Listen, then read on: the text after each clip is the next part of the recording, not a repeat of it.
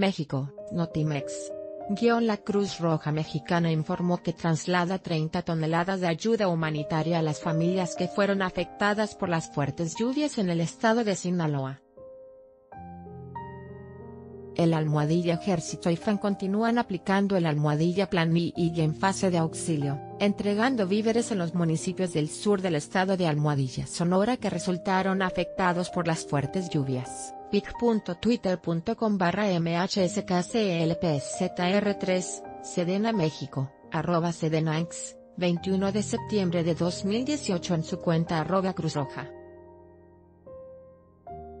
1010 de Twitter. La institución voluntaria indicó que con esta entrega de beneficiará a más de 8.000 personas. Al momento Cruz Roja Mexicana envía hoy 30 toneladas de ayuda humanitaria a Sinaloa en apoyo a la sociedad afectada por las fuertes lluvias que se registran en la entidad.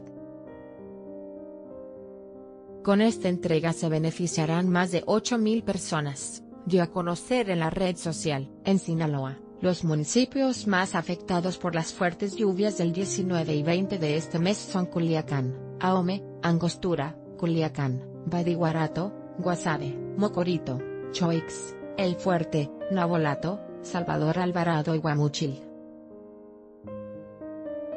De acuerdo con las autoridades federales de protección civil, para atender la emergencia fueron instalados 29 albergues, donde se apoya a 2.900 personas.